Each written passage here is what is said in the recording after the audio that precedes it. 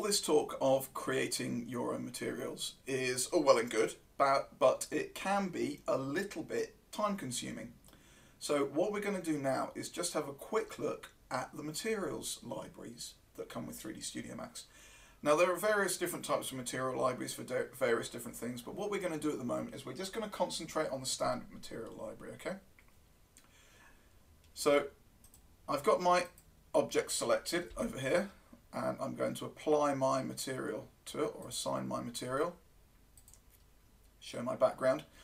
And now what I want to do is I want to say, well, actually, there's a particular material I want on that. Maybe it's a brick, or maybe I, I don't know. There's just something, and it's particular that I want to use. And really, I don't have the time to sit down and go through worrying about, you know, getting the right 2D image for the for the displacement map, maybe the right 2D image for the bump map, or for the diffuse color map, or anything like that. I just, I just want it made. Just want it there. Just want to take something off the shelf and chuck it on there, and that's it. That's job done. Doesn't need to be anything more special than that. So what I'm going to do is I'm going to use this get material option. Okay, so I'll get material, and that's going to bring up my material map browser. Okay, now within that I can browse from, and we've got here new. Okay, now normally it comes up as being new, it's just because the last thing I did was to look into the scene. So if I was going to pick a, a, new material, I've got some of these, I've used here my standard material. We've got lots of other materials in here that we could use and we could pick from. So we've got a composite material, uh, we've got a multi-sub-object material that we're going to talk about a little bit later on. And we've also got sort of these textures. You know, we've picked bitmap before, we've picked ray tracing before. But what I want to do is I want to pick from the material library. Okay. Now we don't have a material library open. So what I'm going to do is come down here to File, go to Open, and I'm going to browse for a material library. Now at the moment, this is looking in our video training folder. Yeah?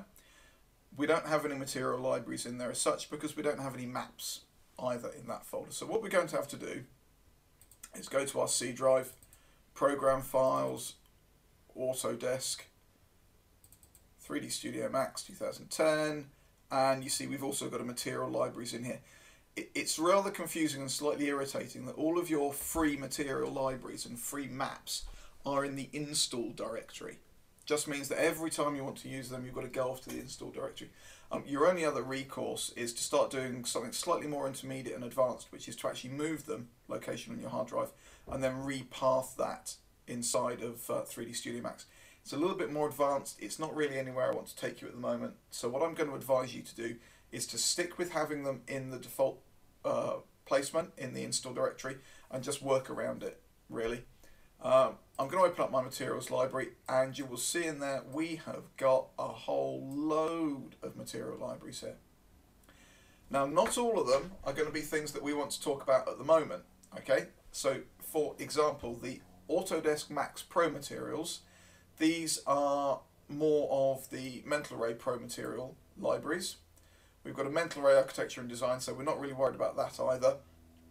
These architectural materials, again, we're going to talk about the architectural material in a moment, uh, but really what I want to do is just come up here and go to 3ds Max material and then click open.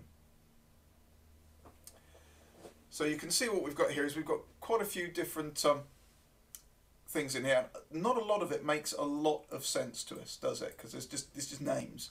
So what I like to do is I like to bring up the names plus an icon.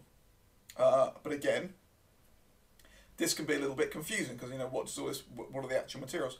Well, if here, if I say show just the materials, so I take off the maps, what we've got here is just like a balloon material. That's a good one. I've got a, a bricks material here another brick material, yellow brick road, um, some kind of a cartoon hatch material. And really what I can do is I can just pick whichever one that I'm interested in and I can use that. So for example, if we want brick, I'll go for my bricks and I'll just double click that and I'll minimize this off. And if I show this in viewport, let's go up a level. Oh, actually, let's apply it to something first of all. That would probably help, wouldn't it? you can see that what we've got here is a very quick, very instant brick material and it's come in, it's got its diffuse colour and it's got its bump mapping already done and that is ready for me just to pull into my viewport and press render. There you go, as simple as that. Absolutely no problem at all.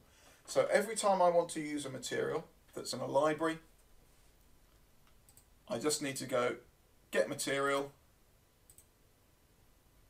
open the library, browse to the library, which in this case it's gone back to the video training, and pick something from it. So we've got this cartoon hatch here, that was one that we saw before. Uh, another really great material that I want to show you that's really worth having in your arsenal is right down at the bottom is this x-ray material. So what I'll do now is I'll add that material to here and that material to here. And if I minimize my materials editor down what's interesting is we're going to see three completely different styles of materials all in the same render.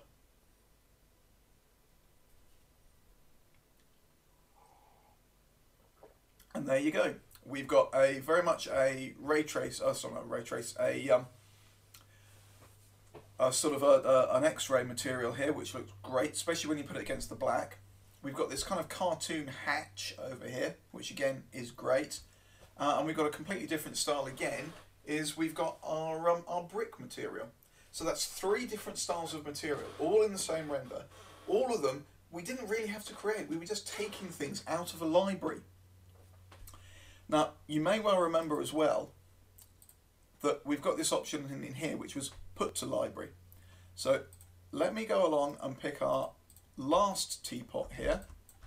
And let's say I want uh, a nice kind of bluey colour. And I want that to be quite shiny. And I want it to be reflective. So I'll pick a ray trace material, just like we spoke about before. And within that, I'm going to pick a, uh, a bitmap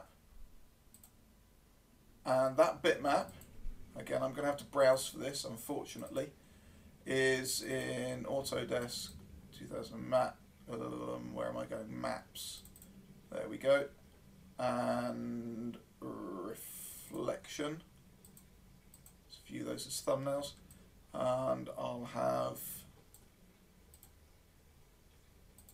that was the one, that's my reflection map, there we go, is my background, I go back up and back up a level again, I'll make this about 25%.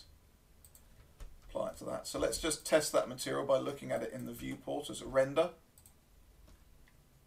So say we've been working with this and we think, yes, that material, that's it's brilliant, it's exactly what I want.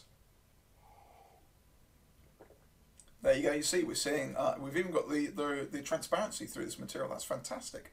And we're getting a good reflection. And I think, yeah, that's it. I just want to tick on two-sided, which I will do, and then that material will be ready to be saved. Now I want to use that material time and time again. So I'm going to give it a name. I'm going to call it shiny blue. And I'm going to place that directly in my material name, shiny blue. There we go. Click OK. Now you might think, it's not really done much. If I pick a new material over here and I say get material, you'll notice as I come down here, what we're hopefully going to find, or I'm going to look very silly, is a new material called Shiny Blue, which will probably be under S, and there we go.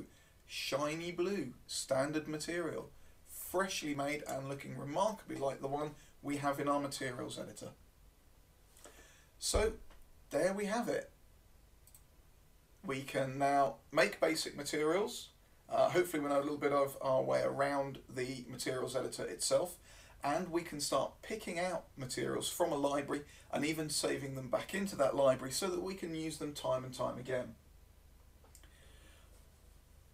I'm going to draw this one to a close now and what we're going to look at next is going to be sub-object materials.